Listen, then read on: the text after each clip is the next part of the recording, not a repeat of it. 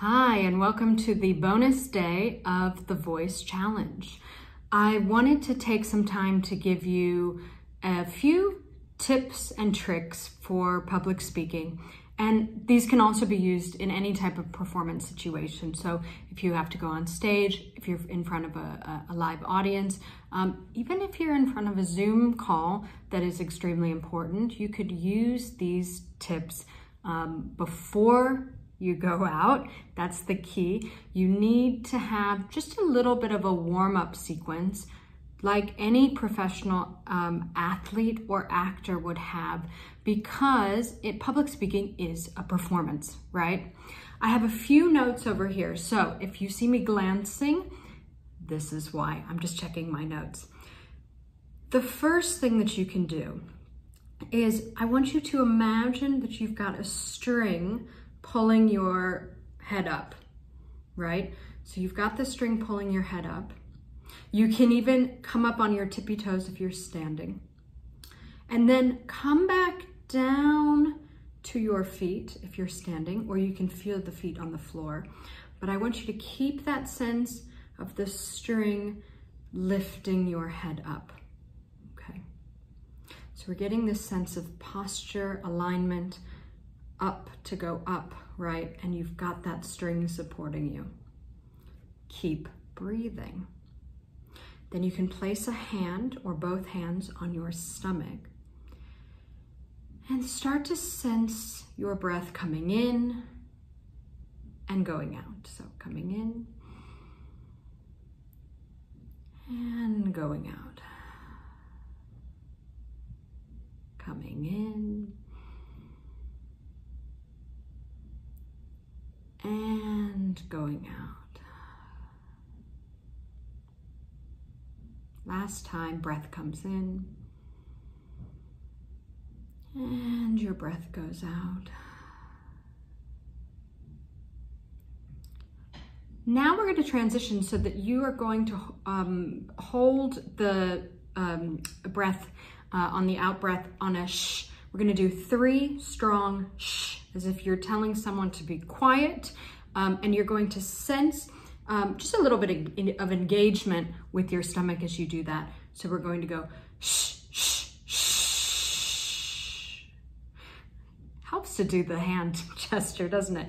Shh, shh, shh. And then at the end of that last shh, you are going to think, let my stomach go, and the breath rushes back in right? Without gasping. So you're not doing a top up breath, but rather the air is rushing back in and you're using your diaphragm to release and your ribs are swinging out without any extra tension to them. So let's try that again. We're gonna do three shh and then release your stomach, release your ribs. The air comes back in. Okay, let's do that together. Shh.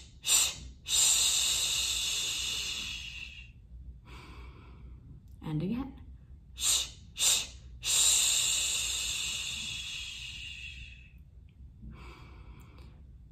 And a third time, shh, shh, shh.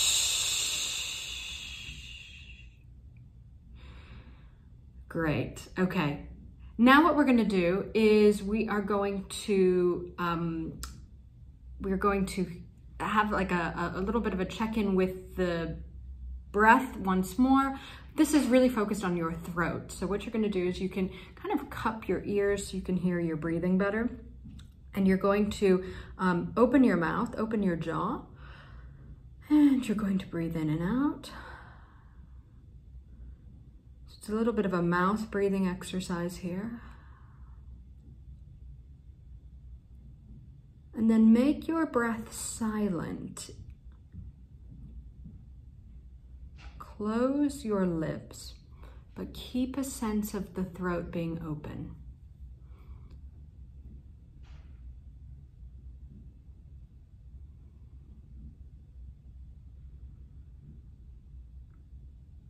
You might do a few sirens with your voice, um, just very quickly, like a go from high to low, maybe two to three times.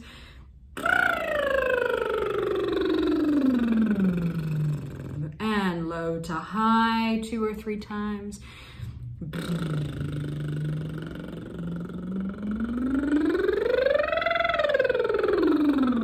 That was a low to high to high to low.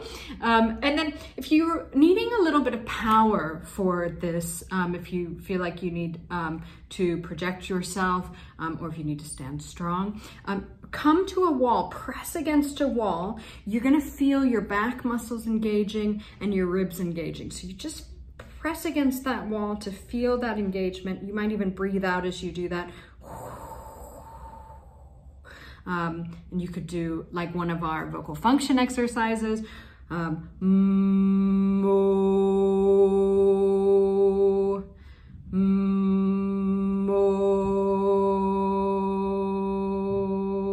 And you can do that against the wall to really feel that engagement. The final tip is that um, idea that was taught to me by a voice coach called Barbara Houseman, which is the backwards circle. So energy travels into you. I check in with myself and then I send the energy back out to the people that I'm talking with, right? So the energy comes to me. I'm checking in with myself before I send the energy back out.